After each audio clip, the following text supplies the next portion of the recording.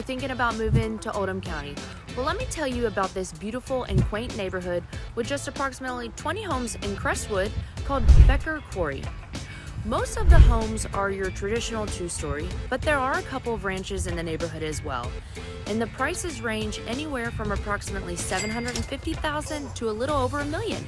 And the sizes of the homes can be anywhere between 2,500 square feet above grade to 4,400 square feet above grade. So as you can imagine, there is a good variation of homes along with each lot size is at least a minimum of one acre. So there's plenty of outdoor entertainment space. One of the things that I love most about Becker Quarry, aside from the size, is there's only one entrance. So that means less traffic with only one way to enter or exit you can expect that most anyone coming into the neighborhood is going to a specific house, which makes it great for walking your pets, kids riding bikes, pushing a stroller, since as you can probably see behind me, there are no sidewalks in this neighborhood, but there are plenty of street lighting. I also love all the mature trees in the neighborhood, especially this time of year. It's early fall here in Kentucky, so the colors are absolutely beautiful.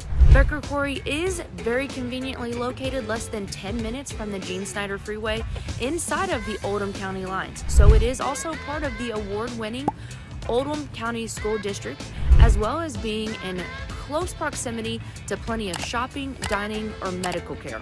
Hey, if you're looking to move in six days, six weeks, or even six months, give us a call, shoot us a text or an email. We would love to hear from you and help you find your next dream home in Louisville, Kentucky, and the surrounding areas. If this was your first time on our channel, we ask that you like, subscribe, ring the bell uh, so that you will be notified when a member of the Hollinden team with eXp Realty drops a new informative video. Thank you so much, and we will see you soon.